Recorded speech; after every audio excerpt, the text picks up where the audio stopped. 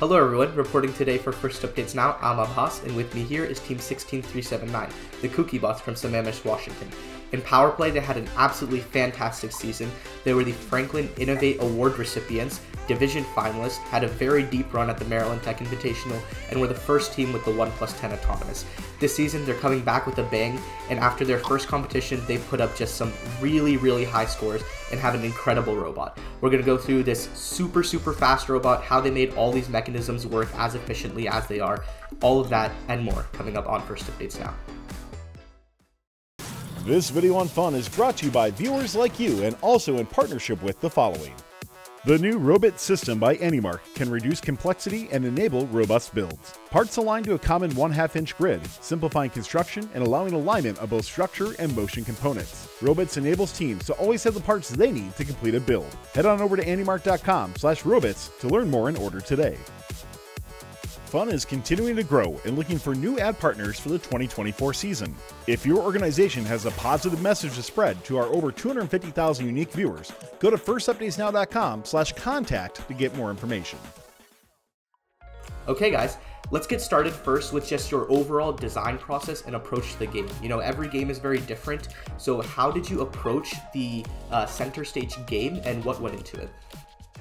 Sure. So I think the first thing that we noticed immediately on kickoff was that there was three stacks of five pixels each that you can score during autonomous. And the first thing um, that we thought of was, wow, that's actually going to be pretty difficult because at a bare minimum, that's seven and a half cycles all the way across the field and all the way back. And on top of that, uh, grabbing the pixels off of the stack seemed like it would be a much harder challenge than grabbing elements during autonomous periods um, from seasons in the past. And so that drove two main design decisions. The first one is, uh, which we'll talk about later, how we ended up with a claw. And the second one is we wanted to minimize how much our drivetrain had to travel during those cycles, which is how we ended up with our um, basically overall robot architecture. Yeah. And so now going into just the drivetrain, right? Everyone obviously the biggest question on people's mind with your drivetrain is why run a mecanum after spending so much time developing a swerve drive last season and you know winning the innovate award at the world championship? So let's talk about that. Yeah so despite the success we had with the swerve drivetrain uh, last year working on it for almost an entire season um, taught us a couple of things. And the first one was um, and it's pretty obvious but early season time is extremely valuable um, and one thing that came back to bite us last season was we didn't perform so well in the early season. And we were able to iron most of that out um, by the time we got near the end, but that's not a mistake that we want to repeat this year. Um, on top of that, Mason is a senior this year, and so he had college applications. We had a lot of software things um, that we wanted to work on, and we didn't want to limit ourselves by committing to a swerve drive at such an early stage. Yeah, and so now Mason, just talking about this Mecanum drivetrain, you know, I'm sure there's a lot of things that you guys do that uh, you know more rookie teams or early teams can learn from. So why don't you give us a quick overview of the software behind the drivetrain? Anything you think that's really important from both autonomous and teleop perspective? Yeah, so um, I've got a lot of questions recently about how our uh, movements in autonomous are so smooth, what pathing system we're using, and it's very simple. It's literally just a PID controller on the robot position um, in the future, though, we do plan to use a more robust pathing system, actually defining every point where the robot will be rather than just a point-to-point system. Uh, and then we just use pretty simple kinematics on top of that. Uh, we don't use field-centric, uh, but we do use robot-centric just because we found it to be a little bit easier to control the robot uh, for this season's game. Yeah. And you know, I think a thing I love asking teams on behind the bots and just like throughout the season is can we see the bottom of your robot to see what the drivetrain looks like? I know it's a little different from you for you guys, but still very interested in uh, in seeing that. Yeah. So what's the what's the decision behind the belly pan? I feel like that's much more of like an FRC esque decision. Um, but you know, if you could explain that quickly. Yeah, so it's something we started doing last year, um, and it's a two millimeter carbon fiber belly pan, and it serves like two main purposes. The first one is it um, protects the entire uh, entirety of the bottom of our robot, our wiring, our mechanisms. Um, it stops game elements from getting um, caught inside of our drivetrain uh, since they can't go from the sides. And it also doubles as part of our superstructure. It holds the, our drivetrain sides to a crossbar that runs down the middle of the robot, and in general just makes things a lot more rigid. Got it. And so you guys are running three-wheel odometry then uh, for that? Yeah, so we've got the standard four Mecanum wheels, and then we've got our three wheels odometry that is sprung and sticking out of holes in our belly pan. All right, yeah. So you know, enough about the drivetrain. Let's uh, get into the arm. We'll first start. Uh, why don't we just start with an overview of the entire scoring and intaking mechanism, and then we can go into specific components after that. Sure. Let's just do a demonstration real quick of how it looks like from intaking um, all the way to depositing on the backdrop. Um, so when we've got two pixels, we'll have our human player place them side by side in the wing, and then we'll go out to intake. And as you can see, everything extends, our claw comes down, um, and then we'll retract and grab those, and then we'll drive to our depositing position where we'll have a one button extension sequence. And as soon as we're lined up with the backdrop with this at a 60 degree angle so it's parallel, we'll hit the drop button. My bad. Uh, and then we have another one button retraction sequence to reset, um, and then get ready to intake another pixel. Um, and looking at this robot might remind you of an FRC robot that we've heavily taken inspiration from this season, and that's Team 2910 Jack in the Bot.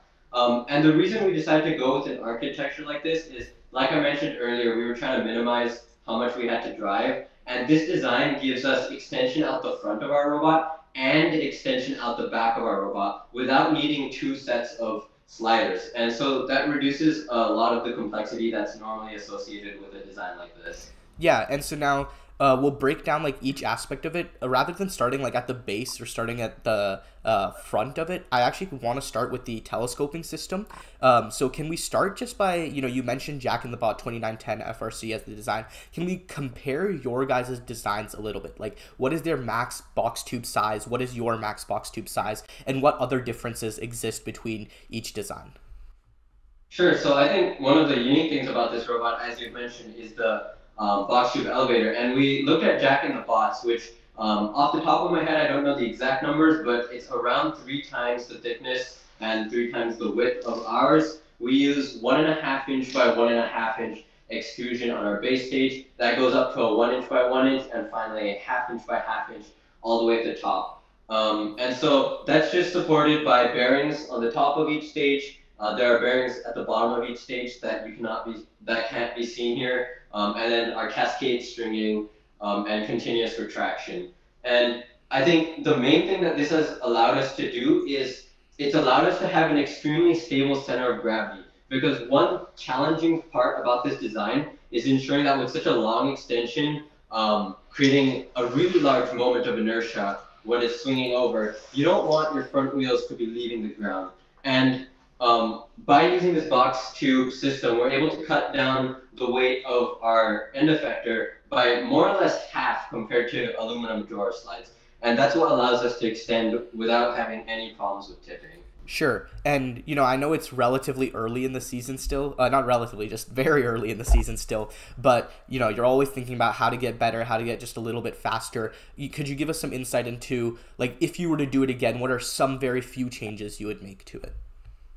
Sure. So, obviously, one of the biggest um, design constraints is how much time you have to pull something off. Um, and as an early V1 prototype, this works really well. But if I was to do it again, I would definitely want to pocket at the bare minimum the outside tube and ideally the inside tubes as well. Um, and this would do two main things one, it would cut down on that weight like we were talking about earlier. But the second thing it would allow us to do is it would allow us to service the components inside of the lift a lot easier than we can right now. Um, and so at the moment, we've got a few, um, if you can grab the second camera, we have an access hole in our middle stage, and we have access to the bottom stage from the bottom of the lift. However, it's suboptimal to have to either retract it all the way or extend it all the way in order to service these components. Um, and so pocketing it would serve uh, those two purposes pretty well. Mm-hmm. And so now I want to talk a little bit about the software side with your arm. You know, I understand it's just meet one that happened. There's a lot more software changes that you want to make, but for now, how is your arm controlled? Uh, you know, what what algorithms do you have going on behind it, and what would you recommend for teams to look into implementing? Yeah, so there's two main systems we use. We use uh, PID as well as motion profiling. So the PID controller just lets us get to the position in the first place, but the motion profiling is where the magic happens. That's what that's what allows us to smooth out our movements uh, and really uh, uh, reduces the number of jerky movements going on in the robot. Um, because a lot of the system is moving really fast all the time. There's a lot of inertia when we're going from fully extended movements to scoring. Uh, motion profiling really lets us smooth that out and reduce all of that inertia overall. Got it. And so is this motion profiling system that you're describing, is this something you developed last season or two seasons ago, or it's something entirely new that you've been working on for this season? You know, talk about that a little bit. Yeah, so last season we had a virtual four bar on our bot, and we wanted a uh, system that could reliably reduce the amount of oscillation while keeping uh, high acceleration when we're trying to move to a target position uh, with the servos. So we opted to create a system, uh, asymmetrical motion profiling. And this system basically allows us to have different acceleration and deceleration times, where we can accelerate really quickly using the physical constraints of the robot, and then decelerate to make sure we reduce oscillation and general wear and tear of the system. Mm-hmm. Um, and we're using the same system here. Uh, we're not currently using it on any servos just because it's not really needed, um, but it's on both the uh, rotation motor as well as the extension motor. Got it yeah, I think that's been a great overview of your extension. So before we talk about your claw, let's uh, talk about your arm pitch a little bit. I think it gets overshadowed a little bit because it's just you know tucked very inside the robot. It's not discussed a lot. So Veer, why don't you start by just giving us an overview of your arm pitch system, uh, and then we'll go into into the claw after. Yeah. So one of the biggest challenges with designing a system like this is um, I believe he's talking about the arm pitch. Oh. Yeah. Um, so one of the largest uh, problems with a system like this is you need to minimize the amount of backlash. Um, and the reason for that is a small amount of error at the base over here translates to an extremely large error when it's fully extended. And when you're trying to pick up half inch tall pixels, uh, that error can add up really quickly. And the main thing we've done to combat this is the shaft that our entire arm um, pivot is running on is directly mounted into an absolute encoder. Um, and it's actually just an Axon encoder that we have sitting tucked in right over there behind it. Um, and essentially what that means is there is no backlash in between the measured position and the actual position. Um, as for the actual power transmission, we are running a 26.9 to 1 motor tucked um, in underneath our battery over here and that's just uh, chained at a 4 to 1 reduction to this goBILDA sprocket that drives the entire system. Got it, yeah. And so, you know, just from some napkin math, we're looking at like around 60 RPM um, no load speed. Yep. Okay, got it. Okay, so now the claw, right? This has been another super controversial decision, I'd say, with this robot uh, from like the community. You know, everyone's like, oh, active intake, active intake, active intake. But currently, you guys are sitting at the fourth highest teleop OPR. This is about a week after your competition, so there has been some other matches. I think right before your or right after your competition, you were second, and that was a couple disconnects. So obviously your teleop is going very well, right? So walk me through first the decision to use a claw, and then we'll jump in later into how exactly it it works and what's going on.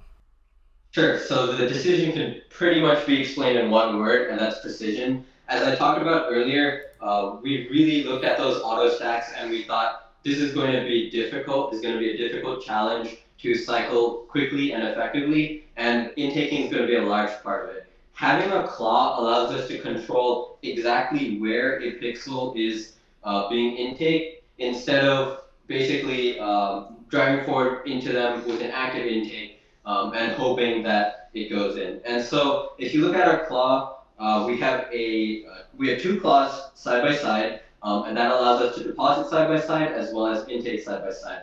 But the special thing is, um, and this is what's going to help us in autonomous, is our claw is tall enough to pick up two pixels at a time, and then it can deposit two pixels at one time as well when it flips over. Um, and that's going to allow us the flexibility we need to be able to intake well from the wing as well as intake well from the stacks. Uh, so looking at how this claw was built, we have the Axon micros, and the reason for that is, well, it's pretty simple. Imagine trying to fit a standard size servo and then trying to fit four of them. Obviously, that weight, that um, compactness would severely hinder how fast we're able to uh, drive this mechanism. So we've got the micros. Those are just on in, independently um, actuating fingers. Um, and then we have the two um, Axon micros as well back here in order to be able to pivot this to go between the store position, the intaking position, and the deposit position. Sure. And so, a couple questions about your claw now is going forward. Uh, are there any changes you'd like to make to it? Any any problems you'd like to address? Uh, yeah, let's let's start with that.